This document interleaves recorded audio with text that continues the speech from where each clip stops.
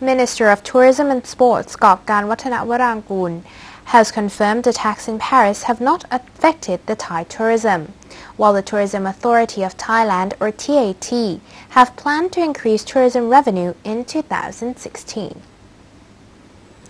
The minister predicted that the deadly attacks in Paris would not affect the Thai tourism in the short run, saying European tourists had not cancelled their hotel room reservation. The number of Thai tourists in November was higher than expected, but their spending was lower.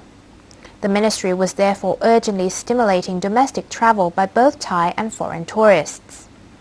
More than 7 million tourists from China and ASEAN countries have visited Thailand after bombings at the Ratchaprasong Junction in August this year, higher than last year by 1 million people.